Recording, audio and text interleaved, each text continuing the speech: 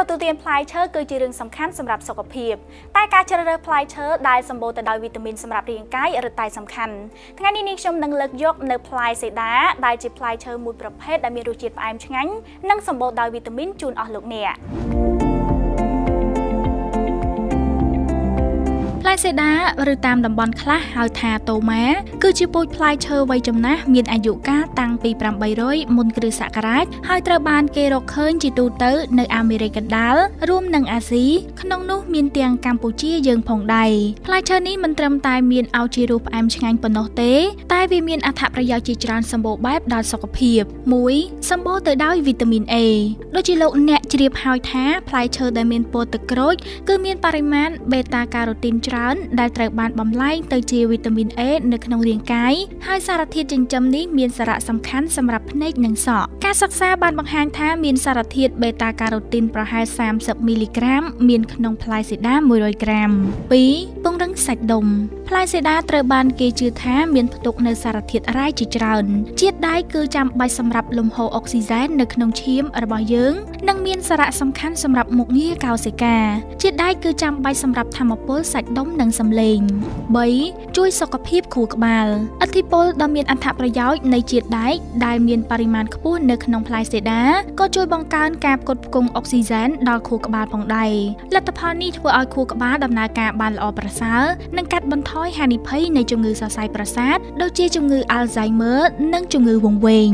4សម្បូរសារធាតុប្រឆាំងអុកស៊ីតកម្មផ្លែសេដាផ្ទុកនូវសារធាតុប្រឆាំងអុកស៊ីតកម្មជាច្រើន ជាពិសេស polyphenol វាមានសារៈសំខាន់ក្នុងការការពារជំងឺរ៉ាំរ៉ៃនិងស្លាប់ដូចជាជំងឺមហារីកបេះដូងជំងឺធាត់លាក់និងលាក់5កាត់បន្ថយហានិភ័យនៃជំងឺលើសសម្ពាធឈាម សារធាតុចិញ្ចឹមមីក្រូសារជាតិមួយដែលសម្បូរនៅក្នុងផ្លែសេដា គឺនីយ៉ាស៊ីនឬហៅម្យ៉ាងទៀតថាវីតាមីន B3 វីតាមីននេះមានសារធាតុសំខាន់ណាស់ក្នុងការបំពេញមុខងាររាងកាយដូចជាបំលែងកាបូអ៊ីដ្រាតទៅជាធម្មពល6 បន្ថយហានិភ័យនៃជំងឺទឹកនោមផ្អែមដោយដែលបានរៀបរាប់ខាងលើផ្លែសេដាមានផ្ទុកនូវសារធាតុនីយ៉ាស៊ីនច្រើន សារធាតុនេះត្រូវបានគេរកឃើញផងដែរថាមានតួនាទីគ្រប់គ្រងកម្រិតជាតិស្ករនៅក្នុងឈាមព្រោះវាជួយសម្រួលដល់ការបំលែងទៅជាធម្មពល នៅក្នុងការសិក្សាវាត្រូវបានគេរកឃើញថាមានសក្តានុពលក្នុងការការពារជំងឺទឹកនោមផ្អែមនិងបង្កើនប្រសិទ្ធភាពនៃថ្នាំប្រឆាំងនឹងជំងឺទឹកនោមផ្អែម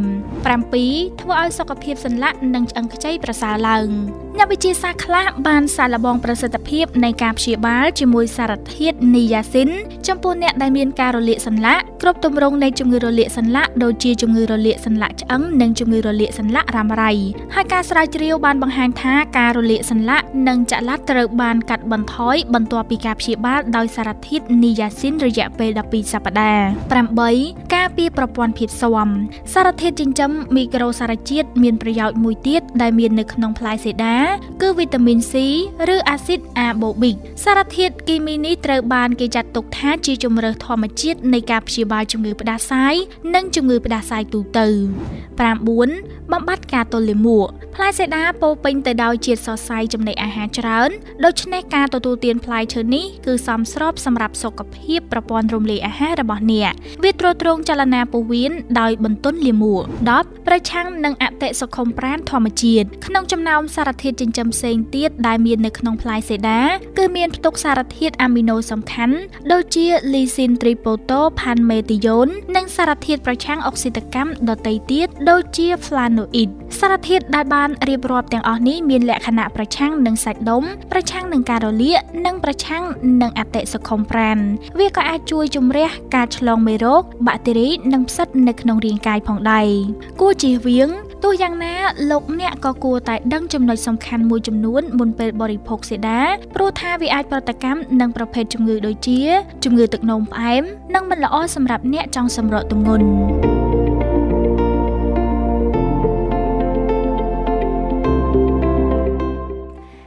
ពីទទួលជ្រាបអំពីគុណប្រយោជន៍របស់ផ្លែសេដារួចមកហើយនោះមនុស្សភាគច្រើនប្រកាសជាភ្ញាក់ផ្អើលអំពីអត្ថប្រយោជន៍របស់វាជាជាពុំខានសូមបរិភោគផ្លែឈើណាដែលសម្បូរទៅដោយវីតាមីនសម្រាប់រាងកាយរបស់អ្នកជួបគ្នានៅវីដេអូក្រោយជាបន្តទៀតតាក់ទងនឹងចំណេះដឹងសុខភាពខណៈពេលនេះនាងខ្ញុំម៉ាលីសូមអរគុណសូមជម្រាបលា